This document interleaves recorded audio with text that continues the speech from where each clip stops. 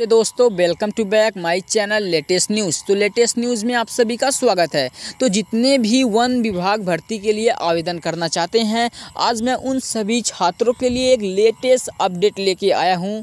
तो latest update में आज मैं आप सबको इस वीडियो में प्रॉपर बताऊँगा कि आपका, आप ऑल इंडिया मतलब ऑल इंडिया कोई भी इंडिया के महिला पुरुष आवेदन कर सकते हैं। कैसे आवेदन करना है, मैं सब कुछ इस वीडियो में डिटेल डिटेल से बताऊँगा।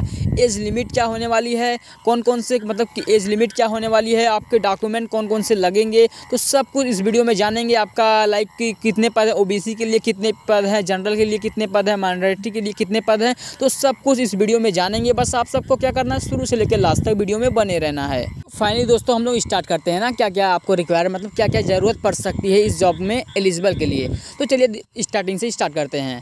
तो आपको मैं बता दूँ फर्स्टली मैं यहाँ से स्टार्ट करता हूँ यहाँ पे। आपको मैं बता दूँ, जैसा कि यहाँ पे आप देख सकते हैं यहाँ पे पहले देख सकते हैं। General O B C S candidate के लिए जो चार्ज लगेगा मतलब ऑनलाइन फॉर्म का चार्ज लगेगा, वो सौ रुपये लगने वाला है। और S C S T female के लिए मतलब कोई भी फीमेल का, कोई ओ बी सी का हो या जनरल का हो, कोई भी कास्ट का हो, उसका निःशुल्क में फॉर्म भरा जाएगा। ये क्लियर हुआ आपका। आप और मैं आपको सेकेंड बात बता दूँ। आप पेमेंट किसी भी माध्यम से करा सकते हैं। तो चलिए नेक्स्ट चीज़ जानते हैं। तो मैं आपको बता दूँ एजुकेशन क्वालिफिकेशन क्या होनी चाहिए? जैसे कि आपको मैं बता दूँ, बारहवीं पास आपको basic knowledge of local language मतलब अपने भाषा में आपको बारहवीं पास होना चाहिए और bachelor of degree science engineering from any recognise मतलब किसी भी आपको इंडिया में किसी भी यूनिवर्सिटी से आपको ये बैचलर की डिग्री होनी चाहिए बीए की। आपको मैं मतलब बी मतलब कोई भी डिग्री होनी चाहिए आपको और यहाँ पर दसवीं पास मतलब जितने भी विल्ड विल्ड लाइफ में गार्ड में अप्लीकेशन मतलब जो जितने भी छात्र हैं, जो विल्ड लाइफ गार्ड में अप्लीकेशन में मतलब फॉर्म भरना चाहते हैं तो वो दसवीं पास उनके लिए मांगा गया है। तो चलिए और डिटेल से जानते हैं। तो यहाँ पर आप देख सकते हैं। आपको यहाँ पे एज लिमिट आपको एज लिमिट दिखाई दे रहा दे रहा होगा। यहाँ पे आपको एज लिमिट मैं दिखा दूँ। मैं ब्रश ले लेता हूँ। यहाँ पे देख सकते हैं ब्रश तो यहाँ पे देख सकते हैं जो एज लिमिट है, जो फॉरेस्ट गार्ड में मतलब अगर आप फॉरेस्ट गार्ड में आवेदन करना चाहते हैं फॉरेस्ट गार्ड में तो आपकी एज लिमिट है अट्ठारह से सत्ताईस ईयर मतलब अट्ठारह से सत्ताईस ईयर तक आप इसे आवेदन कर सकते हैं। अगर आप फॉरेस्ट रेंजर में अप्लीकेशन मतलब अगर आप फॉरेस्ट रेंजर में इसे अप्लीकेशन मतलब आप अप्लाई करना चाहते हैं तो आपकी उम्र जो है तीस साल मतलब अगर आपकी उम्र तीस साल है तो तीस साल तीस साल तो आप इसमें अप्लाई कर सकते हैं फॉरेस्ट रेंजर में और विल्ड लाइफ में गार्ड में अट्ठारह से सत्ताईस ईयर में इसमें भी आवेदन कर सकते हैं। इसके लिए ये भी कंप्लीट हुआ। तो चलिए अब जानते हैं। तो यहाँ पे देख सकते हैं यहाँ पे क्या लिखा गया है मतलब forest guard forest guard general के लिए जो वैकेंसियाँ हैं पैंसठ सौ चौवालीस वैकेंसी है ई डब्ल्यू एस के लिए एक सौ इक्यासी है ओ बी सी वालों के लिए पैंतालीस सौ इक्यासी वैकेंसियाँ हैं और एस के लिए पंद्रह सौ छसठ हैं एस टी के लिए नौ सौ पाँच है टोटल वैकेंसियाँ हैं तेरह हज़ार सात सौ सतहत्तर वैकेंसियाँ हैं और फॉरेस्ट रेंजर के लिए जो वैकेंसियाँ हैं चार सौ सत्तर मतलब चार सौ सत्तर वैकेंसियाँ जो हैं जनरल के लिए हैं पंद्रह ई के लिए हैं और ओ के लिए वन है ओ बी सी के लिए और जो एस सी के लिए हैं उनके लिए पंचानवे है एस टी के वाले के इक्कीस हैं। तो यहाँ पे आपको कंफर्म हो चुका है। और विल्ड गार्ड विल्ड गार्ड में अगर आप आवेदन करना चाहते हैं, जैसे कि विल्ड गार्ड में दसवीं पास भी आवेदन कर सकते हैं। इसका क्या है? बारह बारह सौ चौवालीस जो है जनरल के लिए है। और ई डब्ल्यू एस के लिए पैंतालीस है। ओ बी सी के लिए सात सौ तीन है। और जो एस सी कास्ट के हैं, उनके लिए दो सौ बयालीस है। और एस टी वालों के लिए एक सौ इकतालीस है। तो आपको और डिटेल्स में आपको बताता हूँ।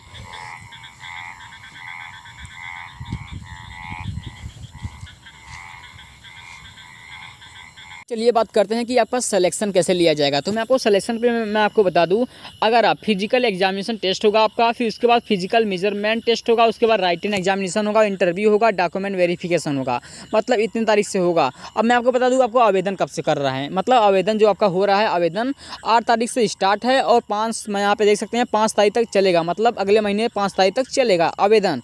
तो आपको ये भी कंफर्म हो गया। चलिए सैलरी के बारे में जान लेते हैं। तो सैलरी में यहाँ पे आप देख लीजिए कौन कौन सी सैलरी है, कितना तो अगर आप फॉरेस्ट रेंजर पद पर आवेदन करना चाहते हो तो यहाँ पर आपको दिखाई पड़ रहा होगा ये चीज़, यहाँ पर आप देख लीजिए।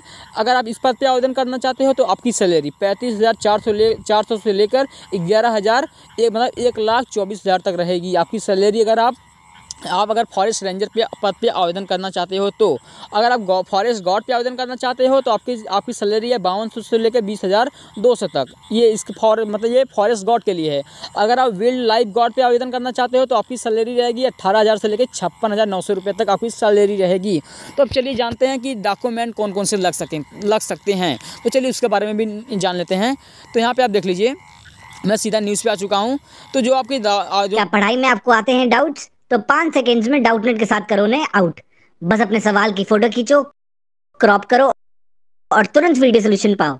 फिर चाहे आपका सवाल फिजिक्स केमिस्ट्री मैथ्स बायोलॉजी का हो सीबीएसई यूपी बिहार, मध्य प्रदेश या अन्य स्टेट बोर्ड्स का हो.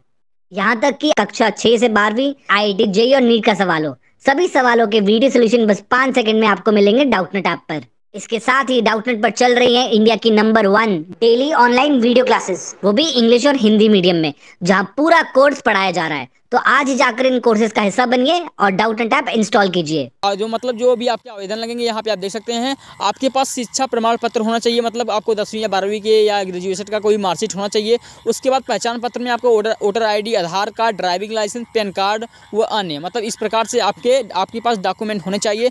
उसके बाद आपको जाति प्रमाण पत्र भी होना चाहिए। यहाँ पे आप देख लीजिए, यहाँ पे क्या लिखा गया है कि जाति प्रमाण पत्र, निवास प्रमाण पत्र, जन्म तिथि प्रमाण पत्र पासपोर्ट साइज़ फ़ोटो रोज़गार पंजीकरण प्रमाण प्रमाण पत्र अन्य दस्तावेज़। मतलब इतने अगर डॉक्यूमेंट आपके पास हैं, तभी आप इस फॉर्म के लिए अप्लाई कर सकते हो। तो आपको ये भी चीज़ कंफर्म हो चुका है। अगर आपको मैं बता दूँ, इसी प्रकार से कोई और अपडेट आता है तो मैं आप सबको अपडेट करा दूँगा। अगर आप इसे आवेदन करना चाहते हो, आवेदन के लिए यहाँ पर ऑफिशियल साइट दिख रहा होगा। यहाँ पे देख लीजिए आप लोग, यहाँ पे क्या बताया जा रहा है? ऑफिशियल फॉरेस्ट गॉड रिक्वायरमेंट दो हज़ार इक्कीस।